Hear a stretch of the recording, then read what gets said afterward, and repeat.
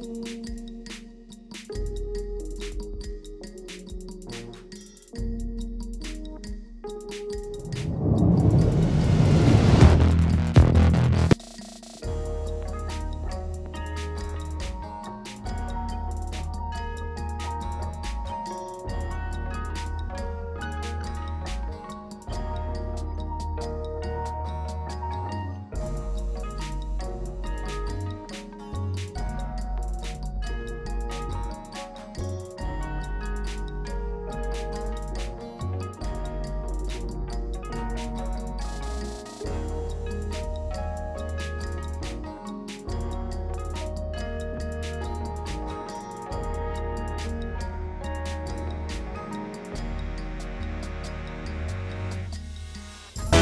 Rossa Ocean, the new fragrance by Prada. Hello everyone, Ozzy here again today. Welcome back to the Opulent Life. Today we are going to be doing a review of another perfume. This time it's going to be Prada Luna Rossa Ocean. This perfume has been out for quite some time. Uh, it was launched in 2021 uh, and it has been a pretty remarkable success actually. And uh, so today I bought this from Macy's to review for you guys and we're gonna go through pricing we're gonna go through the notes we're gonna go through my personal impressions what i feel about it and we're also gonna go through the packaging. So without any delay let's get right into it. So here we have this prada, prada luna rossa ocean in eau de toilette version as a 3.3 fluid ounce bottle or 100 mils. So this cost me around $140 at Macy's. Now you can get this uh, from Jomashop and aftermarket uh, gray marketers uh, for much less. So at Jomashop right now, for example, you can get this for $81.99 for the 3.3 ounce version. You can get it in the $60 range for the 1.6 ounce version. But at Macy's, everything is going to be higher. So at any department store, whenever you buy perfumes like this, they're going to be higher. But the advantage is you get a fresher batch and you get it immediately. With the others, you get an older batch. You may have to wait a little bit. You may have to pay shipping. So that is also something to take into account. Now, I wanted to do this immediately, so I got this. And uh, so that's why I had to spend a little bit extra. But if you can uh, wait and if you can check the batch code, uh, then it may be worthwhile to actually wait and buy it from the gray market side because this perfume was launched in 2021 so even if you get a batch that is older right now it's 2024 so it won't be more than three years older right? So that's still pretty fresh. Now problem comes when you buy a perfume that has been in production for many many years like let's say 10 15 years and then you buy from gray market you may get it at a steep discount from the discounters, but you might end up getting a batch that is like seven, eight, nine years old. At that by that time, the perfume, even though it's original, has lost its freshness, and its shelf life is way past expiration. So that is a risk when you buy from discounters, from a department store, you I have never come across a situation where the batch code told me that it was older than max, let's say seven, eight months. So always do do the check cosmetic check, which I've mentioned about before, see the batch code. If you buy something from the department store and it is uh, the batch code is older than a year, I would say just return it and get a different one because that's not really supposed to be happening. So at Sephora, Macy's, Bloomingdale's, all these other uh, department stores, what you're really paying for is a fresher batch, in my opinion. So go for that. Now, coming back to this. So right now it's in its original packaging. Uh, let's go through it really quickly before I take, actually I'll take off the plastic first so we can go through this really uh, easily for the, because there's a lot of reflection coming on this cellophane wrap. All right, so here we go. Let's take it out. Also, a quick mention while I'm unwrapping this is that on Amazon, you can actually get it for uh, around $77 last time I checked. So I will be leaving the link in the description below where you can go ahead and use that link to purchase this if you would like to. That is also a gray market um, option that you may want to explore. So, and that is going to be significantly less than what I paid for uh, 77 versus 150. That is a big, big margin. So I would recommend ordering from Amazon, checking the batch code. If it's within the last year or two, you're pretty good. And uh, I would say then go for that option instead of buying from department store if you can wait a couple of days. Anyway, so this is the pack. I removed the cellophane wrap. Now, so that's all gone. So looking at this box here, just quickly describing it, it is obviously because of it being called Ocean. It has tones of blue on it. You have the uh, typical Prada signature in a vertical fashion on a background of red with the white lettering, which is their classic.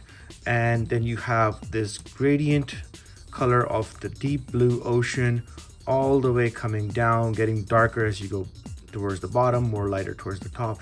And then you have again navy blue uh, at the at the very bottom on this part where it says Luna Rossa. Lunarosa is in a little bit lighter text along with the eau de toilette and the 100 ml signature. On the sides, you have the same gradient. You have a QR code. Same here, nothing different. You just have Prada.com written. On the back, you have all the ingredients, the barcode, and made in France. You have the addresses of the distributors. And this icon over here, it tells you that once you open the perfume, it is good for 24 months for its best freshness. And it is obviously flammable, so you have it's safe, legal, compliant. You have all the precautions listed as well as the ingredients, so that's all good. Top, you just have a red stripe for the Prada that continues from the front. At the bottom, again, you just have some markings regarding recycling and disposal advisories. And this is the batch code that you're going to enter in checkcosmetic.com to see what the batch code is. Let's check this one right. All right so i ran a quick check. Now on checkcosmetic.net it was not looking this up. Sometimes checkcosmetic.net although it's a pretty good site is not able to find all the batch codes. So another alternative that i use is checkfresh.com so on checkfresh.com, this is coming out to be a production date of June 2023, which means that right now in March 2024, it is nine months from the production date, which is very, very reasonable. I actually got this, uh, I'm opening this right now, but I actually purchased this back in December. So at the time of purchase, this means that it was only six months uh, from at the department store, and that is really fresh. So that is one of the advantages of buying from the department store directly. You get a fresher batch. All right, let's open this up now. So you have your typical rectangular box. Oh, it's like it says something in here. Instructions on how to use it. How to take off the cap. And then remove the safety clip before use. All right, let's take this out.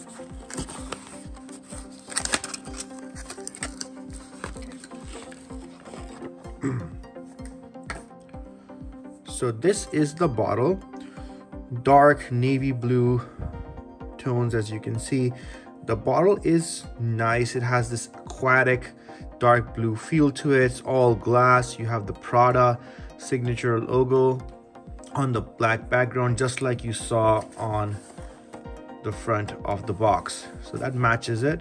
Then you have Ocean Luna Rossa written very discreetly at the bottom you guys can see this. There's a lot of reflection but if you are able to see it you'll see all the dark blue tones of this bottle and glass very nicely put together. At the bottom this is more black. You have the batch code here again to confirm if the batch code here does not match the batch code on the box you have a problem. That is a counterfeit perfume then. So this is made in france as we saw before 3.3 ounce. Great so this is the cap and it actually says reposition when carrying. So I think they had some issues with this. So that's why they have this instruction on. So take this off and then this is the top. It's a direct atomizer so you don't have to take off any cap besides this.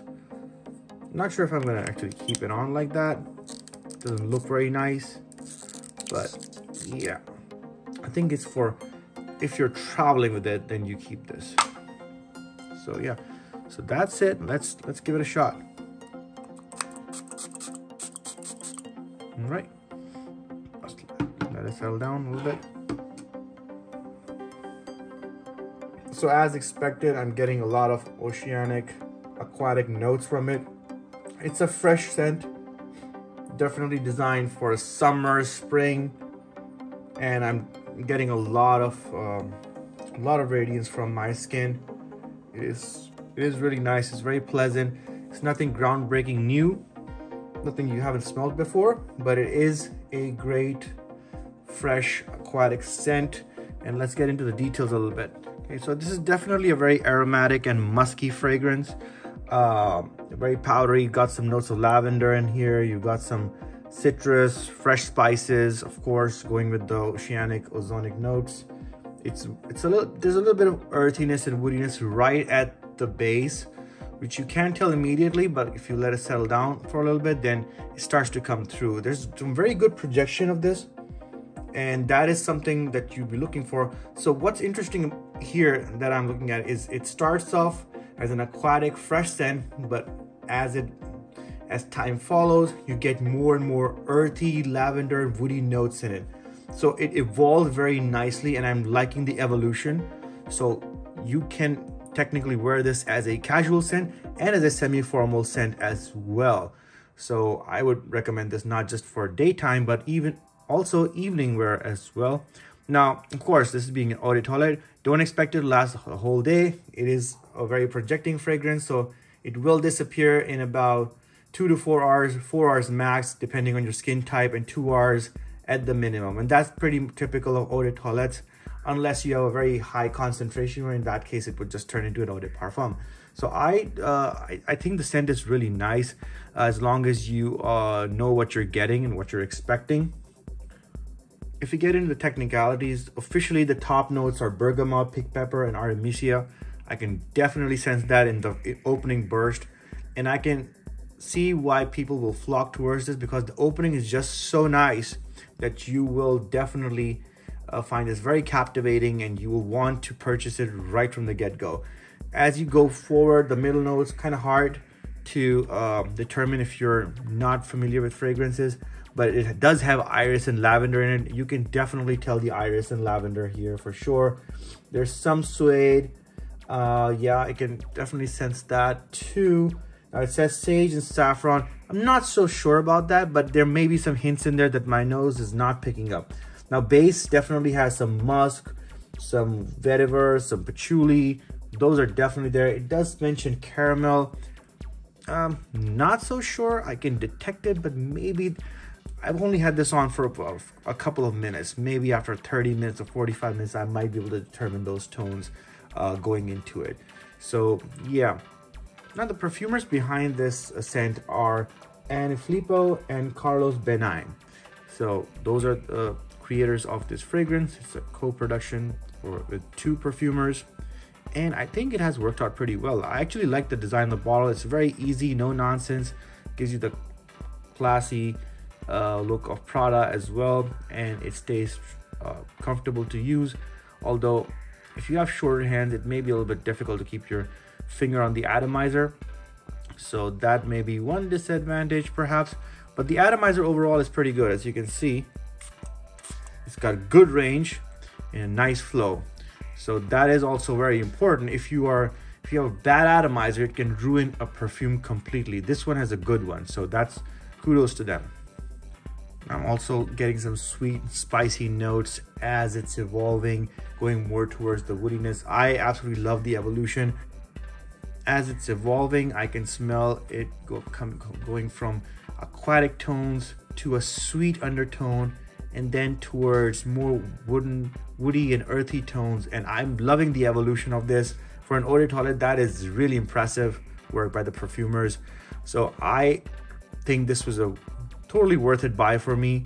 And for, on a personal level, I would rate this as a 9 out of 10. I'm knocking one point off because originality maybe because this is something that I the components are, are not it's not something super original. I have definitely smelled something similar before. So it's not something that's groundbreakingly new. It's like your typical aquatic scent with some with a, with a nice twist to it. Uh, but even then, so the twist and how it's evolving what it's evolving into is also something that I'm familiar with. What it's evolving from is something I'm familiar with. But what sets this one apart is the evolution from the aquatic to the woodiness with the sweet transition. So that's why I'm rating it actually 9 out of 10. But also because none of these, all those three components are something that I've smelled before in other perfumes. So it's not super original and that's why it takes the point off. Otherwise, it's pretty good. Now, time will tell how this performs in terms of sillage and uh, uh, radiance and projection. Now, right now I'm getting very good, very, very good project projection, but it's an eau de toilette, so eventually it's gonna die down. It might eventually start sitting closer to the skin. So that's also another uh, disadvantage. This was an EDP, I might have given it a 9.5 because then it would last longer. Something like this, I would want it to last a little bit longer, maybe for six hours or seven hours, but then you get into EDP territory. So that's another pet peeve. If it was EDP, I would have automatically given 0.5 more, still take off the 0.5 for uh, originality. But overall, this is a very solid buy. I do recommend it. I think that you definitely should have this going into the summer and spring season. Uh, this would be a nice, nice alternative to the overused Sauvage. Now, people use this as a Sauvage alternative. I don't think this is a Sauvage alternative. I think well, this is a Sauvage alternative, but it's not the same as a Sauvage. Sauvage is completely different.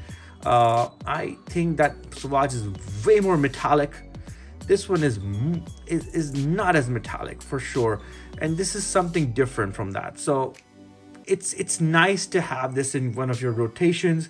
I don't think this would outright beat Sauvage, but it is a nice alternative if you bought Sauvage three or four times over already and you want something different, but in the same vein, maybe this is fine, but it is not the same as a Sauvage. Let me make that clear. Anyways, guys, hope you like this review. Stay tuned for more. Take care. Bye-bye. Be sure to subscribe and like our channel and use the link in the description below if you'd like to purchase this from our Amazon uh, link and that will help support the channel. Also, please look at the other videos, do subscribe, and stay tuned for more content coming your way. Ozzy out. Welcome. Take care.